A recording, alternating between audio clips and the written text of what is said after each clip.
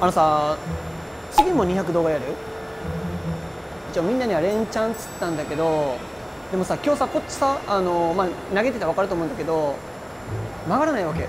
でどうやら46フィート縫ってるみたいだわけ。で46フィートのレビューしたいなと思って。止めるか？200怒るかな？いやでもずっとこのまま200きついぜ俺も。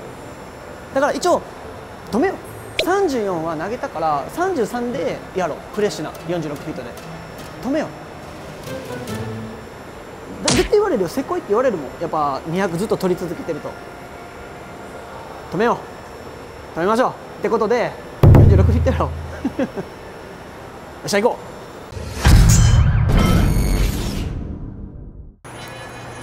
こんにちはスカイトモです、えー、今日はですね沖縄県浦添市にある、えー、テダコボールさんにお邪魔しています。テダコボールさんがですねあのー、今月のコンディションが46フィートみたいなんですよレーンコンディション。ボーリング場のレーンにはですねオイルが引かれててこのオイルのパターンによってまたレーンの、え曲がる曲がらないが決まったりするんですよね。で今回46フィートって、まあ、若干ね、まあ、長めの部類に入ると思うんですよ。ロングの部類に入るんでまああのオイルが長いってことでまあ、ボールがあんまり反応しにくいっていうイメージもニュアンス合うのかな？じゃあ大体ね皆さんが投げてレーンあレーンのオイルコンディションが41とか42とか、まあ、40前半のコンディションで、えー、おそらくボーリング場は、えー、ほとんどのボーリングセンターがそうやっていると思います。センターによってねあの毎月コンディション変えるセンターがあるのでぜひね皆さんもねあのセンターに行って、まあ、店員さんに聞くとか、えー、後ろとかに、え、レーンコンディション情報載ってるので載ってるのでぜひねチェックしてみてください。じゃあ早速ね46フィートロングコンディション投げてみたいと思います。やってみましょう。いきましょ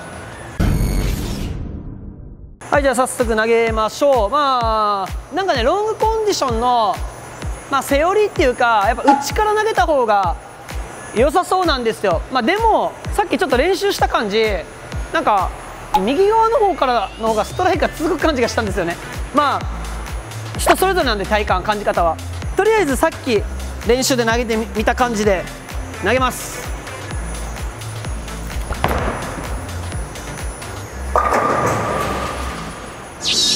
いやでもやっぱりスーっていくね、まあ、いつもならやっぱ自分回転ある方だから曲がるんだよね手前から。でもやっぱロングなんで結構奥まで行くね。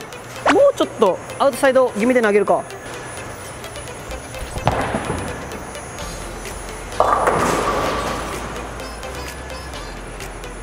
ダメだね。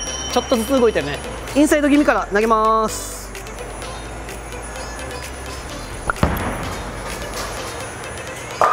あまああれの方が投げやすいのかな。もう一回いきましょう。いきます。ああやっぱり。やっぱ46フィートなんでインサイド目から投げた方がやっぱストライク続きそうなイメージはするね。いつもみたいな自分のラインで投げてみたいと思います。おそらくね抜ける。はいいきます。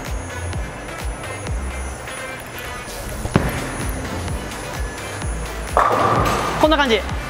やっぱりオイルがねロングコンディションで長いんでいつもみたいに投げるとやっぱ抜けちゃいますね。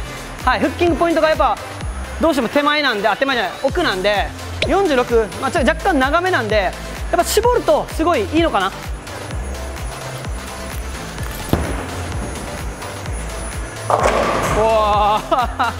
いやちょっとでも出したら帰り甘かったね。まあでもあのぐらい幅はあるということで、えー、おそらくここから投げたら攻略できるんじゃないかな。ちょっとさっき右目から投げたんでもう一回右目からでもアジャストしてみたいと思います。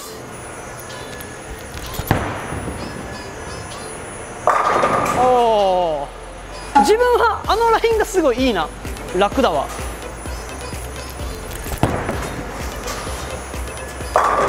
あ楽。あれはあれでいいんじゃない？大体ね7枚ぐらいかな。7枚ぐらい出す出すっていうか投げる感覚で。ああミスった。7ミスった。チャレンジするか。スプリットチャレンジ。いきます。